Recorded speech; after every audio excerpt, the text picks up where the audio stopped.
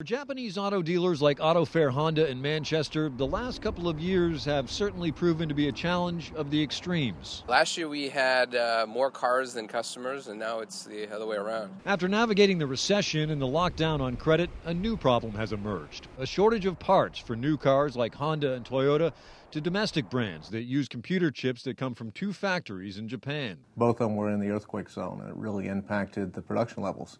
Um, Honda, for example, 85 to 90 percent of the vehicles are produced in the U.S., but they get these single source parts um, from Japan that are coming over. Translation inventory of new cars at Auto Fair Honda is about only half of what it should be. And that's frustrating given that the summer months are traditionally the best months for new car sales. Right now, I believe the demand is there for the products, but our sales are not, you know, quite uh, showing that because we just don't have the inventory.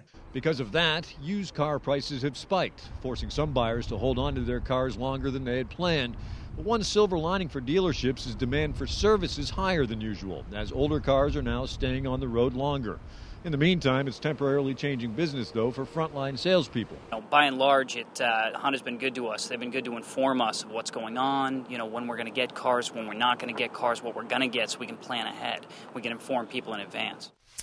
Uh, automakers and the dealers do expect the shortage of parts and inventory to last until September. Dealers, however, are rewarding patience with incentives geared toward those who are willing to buy a new car and then wait a bit for delivery.